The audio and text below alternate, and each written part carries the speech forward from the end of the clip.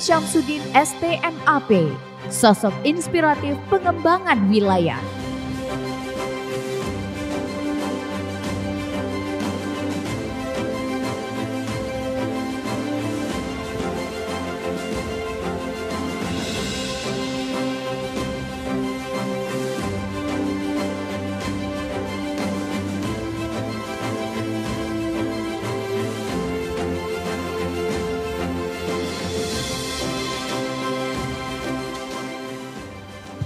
Assalamualaikum warahmatullahi wabarakatuh. Yang pertama ucapan terima kasih saya dan apresiasi kepada Harian Serambi Indonesia atas kegiatan seperti seperti ini memberikan semangat juang kepada para tokoh-tokoh untuk berkontribusi untuk Aceh.